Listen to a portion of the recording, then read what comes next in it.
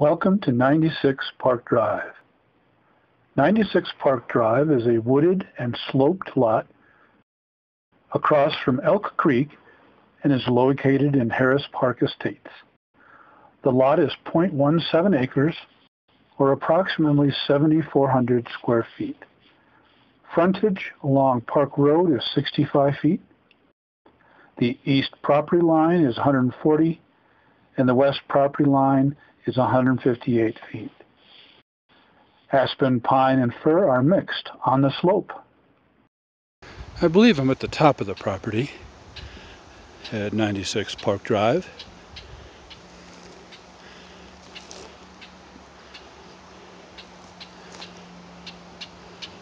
And right about here is where you can see the fence line going across the top of the hill. And I haven't found a marker up here or any stake. I'm just up from the east property corner as I estimated it. When you get ready to build, they will require you to have all four corners staked with a survey. I'll move a little bit towards the left so you can kind of see what the view is from this side. So across the top, I think it was 50 foot or 55. And so from up here looking across the valley, you can see some houses on that side. This is the uh, the south edge of the valley. And so this side gets a little bit more um, shade in the winter. The snow stays here a little bit longer and stays a little bit moister so there's more trees here on the other side it's a little drier but if we could see towards the right that's where the second res or excuse me reservoir number one is down that way about a half mile Harris Park Estates is adjacent to the National Forest. Several trailheads heading to Rosalie Peak and Mount Logan start nearby.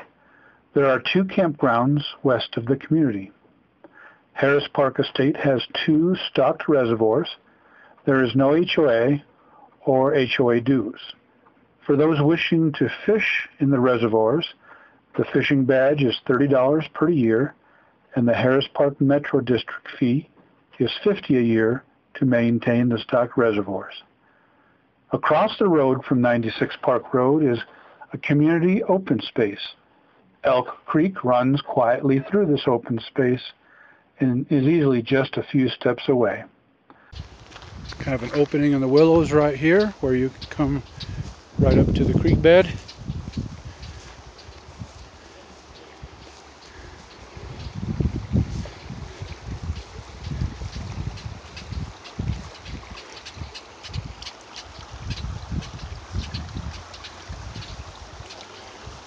Here's one more little path where you can get closer to the creek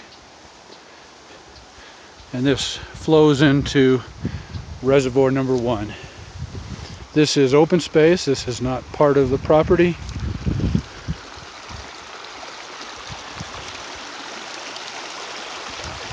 And once again, there's Rosalie Peak in the distance. Thank you.